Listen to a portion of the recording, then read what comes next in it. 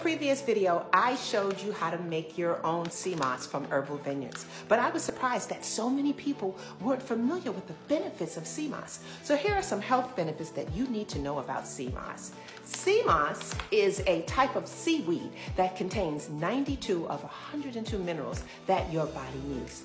It is amazing for weight loss because it breaks down fat and mucus, liquefying it, making it easier to be removed from your body.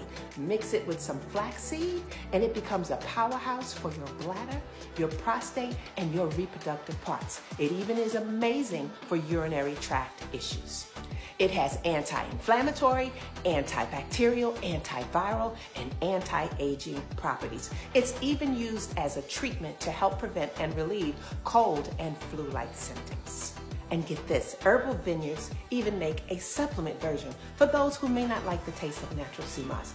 It's a gift from nature that you should never be without. Click the link in my bio for more info on Herbal Vineyards.